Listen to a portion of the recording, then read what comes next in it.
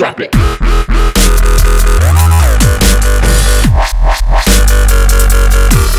What's up YouTube, Hunter here, and today I'm going to show you how to backup and restore using Titanium Backup.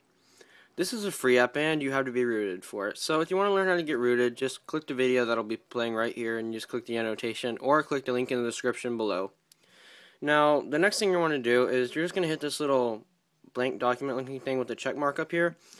And it's just doing all this real quick. And we go to where it says backup all user apps. So we just hit run and we just hit this check mark up here. It'll start up here, and it takes a little while depending on how much you have. Now, I've already done this, so it actually makes a, what do you call it, a folder in the root of your phone. So let me go to my file app. So all files, and as you can see, I got Titanium backup somewhere in here, right here. And it copies all these files. So you can just go onto your computer and drag this folder there to back it up and all that. And so next, I'm going to be installing CM uh, 11 and you can watch the video on how to install it like right around here. And so I'll get back to with y'all once I have that done and so I'm going to show you how to get all your files onto it. So yeah see y'all in a minute guys. Bye. Okay YouTube so I'm back. So I'm on CM11 right now and I don't have any of my apps or anything so I'm going to get them back so pretty much I'm just going to go open up Titanium Backup and you're going to also hit the little blank file with the check mark on it and you're going to and you're going to go down to restore now, we're going to hit restore all apps with data.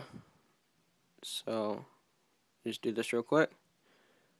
So, anything in red could be a problem, possibly. possibly. So, I just uncheck I just uncheck that. So now we're just going to hit this little button right here and our phone is actually not letting us do this. So, it's basically telling us that we need to uh, uh, click the unknown sources thing. So, yeah, so now let's just go back to Titanium Backup. And now it's restoring all our apps. So, yeah, thanks for watching this video, guys. Don't forget to rate, comment, subscribe. See you on the next video, guys. Bye.